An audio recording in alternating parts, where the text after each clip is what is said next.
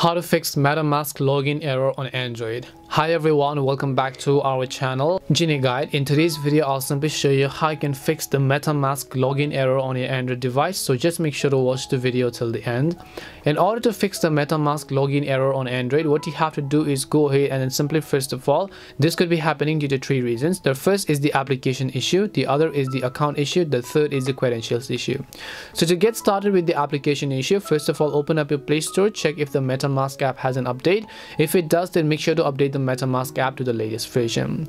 If that doesn't help, then what you can try to do is simply go ahead and a long press on the MetaMask app icon. Then tap on the I button here. It'll take you to this page. You can go to the option called storage, clear the cache fast if possible. Also make sure to clear the data. Once you've done that, you can relatively actually come back. And then when you do come back, this could be happening due to your account issue if it doesn't solve your problem.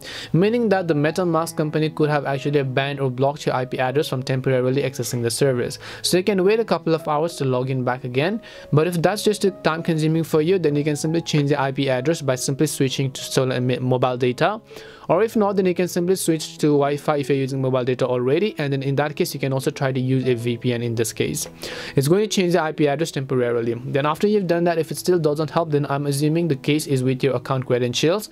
So for that you have to open up MetaMask. And then once you open up the MetaMask application over here what you can actually try to do is check if your credentials are actually correct so if you forgot your credentials such as your phone number your email or your password that is associated with the MetaMask wallet then you should be able to reset them and log into your account respectively.